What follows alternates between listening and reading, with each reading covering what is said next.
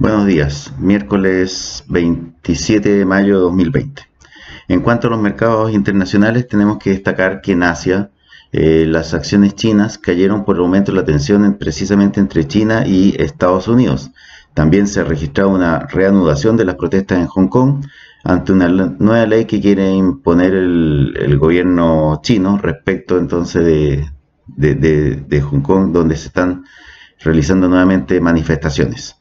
Eh, en Japón, por su parte, se aprobó un nuevo paquete de estímulo de 1,1 billón de dólares, eh, que incluye un importante gasto directo, un billón de dólares en, español, un millón de millones de dólares, que incluye un importante gasto directo con el objeto de reducir el impacto que está teniendo en su economía precisamente la, pandemia del coronavirus. En Europa, eh, la presidenta del Banco Central Europeo, Christine Lagarde, afirmó que la economía de la eurozona probablemente se contraerá entre un 8 y hasta un 12% este año, mientras intenta superar precisamente el impacto sufrido por coronavirus. Eh, seguiremos eh, hablando en Chile respecto de la empresa que, está centrando toda la atención, la TAM Airlines. Luego que ayer la compañía se acogiera al capítulo 11 del Código de Estados Unidos, eh, que le permite la suspensión por 180 días de cumplir sus obligaciones con contrapartes, eh, donde la reestructuración reglada por el, eh, por el capítulo 11 involucra precisamente lo que afirmó la compañía, su matriz en Chile, las filiales en Chile, Colombia, Perú, Ecuador, Estados Unidos, Islas Caimán y Países Bajos. Recuerden que no está incluido eh, Latam Brasil. Posteriormente, hubo un, un, hecho esencial de Costa Verde Aeronáutica, en el cual informó que en el proceso de reorganización de la compañía, entonces, eh, Costa Verde ha asumido un compromiso de financiamiento por 300 millones de dólares. Es decir, ellos también van a aportar eh, dinero para, para, que la compañía salga de esta difícil situación. Eh, la disponibilidad está sujeta a la negociación de acuerdos definitivos y que sean aprobados como Debtor in Possession Financing, bajo dicho procedimiento.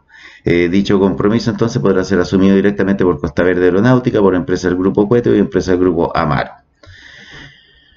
Eh, con todo lo que ha sucedido hemos sido un poco más conservadores, pero recordemos que nuestro análisis es principalmente fundamental, por lo tanto tratamos de ver las proyecciones de vida, utilidad de 2020 y hacia 2021. Entonces, eh, em, siendo un poco más conservadores, hemos rebajado nuestro precio objetivo a 12 meses a 3.200 pesos por acción, pero atención con los precios de corto plazo. Entonces, bajo un criterio conservador, eh, bajo un criterio conservador, como decía recién, hemos ajustado a la baja nuestras estimaciones de la TAM con un EBITDA un 37% menor a lo registrado en 2019. Eh, estimamos por lo tanto, que la crisis del coronavirus eh, debería seguir impactando fuertemente los flujos de la compañía durante los meses de mayo, junio y julio, meses donde la TAM eh, estimamos que debería evidenciar eh, un desempeño similar a lo que registró en abril, es decir, una caída en el tráfico de pasajeros del 95%, y recordar que en abril también el tráfico de carga evidenció una reducción del 32%. Bueno, nosotros hemos también eh, estimado una caída del tráfico de carga entre 30 y 40%.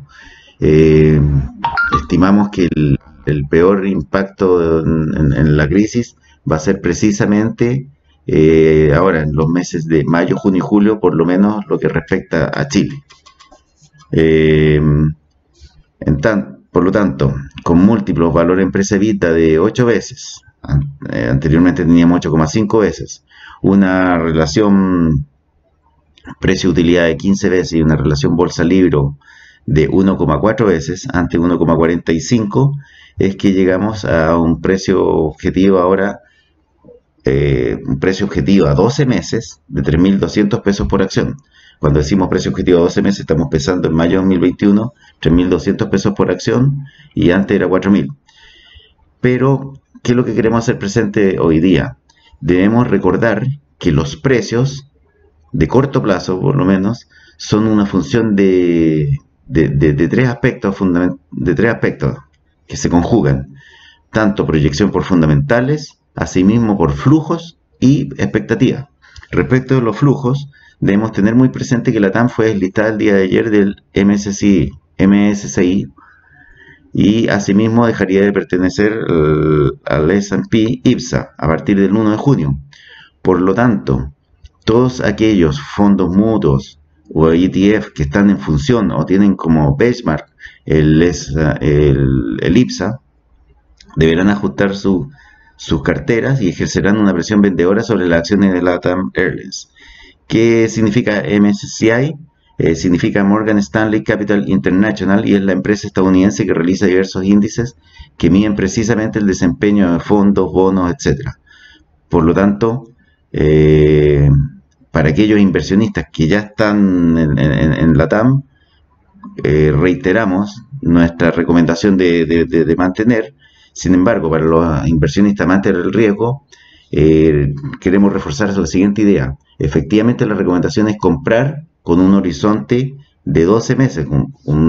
es comprar asumiendo un riesgo alto, un horizonte de 12 meses, un precio objetivo de 3.200 pesos, pero tener muy presente que en el corto plazo este deslistamiento de las acciones, tanto del MSCI así como del IPSA, van a significar un flujo, eh, un flujo digamos, de, venta que va a ejercer presión sobre las acciones en el corto plazo. Por lo tanto, hay que, hay que ver eh, muy bien el, momento y, considerar esta presión vendedora en el corto plazo que pudiera hacer que las acciones se mantengan bajo presión e incluso eh, bajen respecto a la jornada de ayer.